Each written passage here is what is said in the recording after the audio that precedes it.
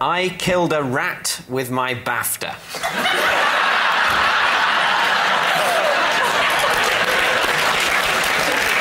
I really hope that's true. I want that to be Brilliant if it is true. You got a BAFTA?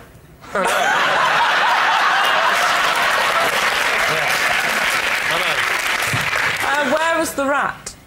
The rat was uh, in some bin bags that were sort of outside, on um, sort of round the corner from my kitchen. Can I, can I ask a question? Is this the BAFTA you won when one of the other nominees was me? I don't want to make you feel small, Rob, but it was the other one. How did you kill it? I, I didn't mean to kill it. Whoa, whoa, whoa. You didn't mean to kill it. Just meant to award it with the BAFTA. No, no. Yes, I, I run into the flat. I grab the BAFTA. Where is the BAFTA? The flat? It's on a bookshelf. Right. On display. Uh, oh, absolutely, yeah. It's got Big, uh, lights round it. and, you know, it's in what I call my me room. I then go outside with the with the BAFTA. I hold the BAFTA at arm's length, sort of over where the bin bags were, and I drop it. And you then get- scuttle So you around the drop it corner. with, do you drop it with the idea of just shoo? That sort of. Sort of shoo, but maybe I'm maybe I'm entertaining the possibility of injuring it, and I'm, I don't like that side of myself. And by absolute coincidence, it's landed right down on the rat. Bang! Wow. And then there's silence. Look at you. Yeah.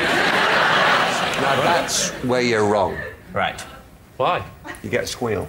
Just a little, I'd like to thank my family, and then it would die. I know about rats. So have you killed a oh. rat? Yeah, my dogs killed rats. And did it squeal? Squeal like hell. Well, dogs are much crueler than BAFTAs. Truth or lie? Ooh, I, I'm really torn on this one. Hmm. What do you think, Nick? No, you attack a rat from a distance.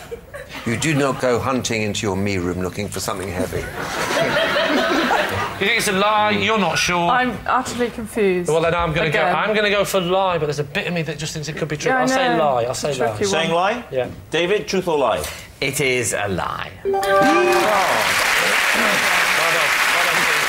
Yes, it's a lie. David didn't kill a rat with his BAFTA. You mustn't get obsessed by meaningless awards, as I was telling my children, Oscar, Emmy, and Brit, only yesterday.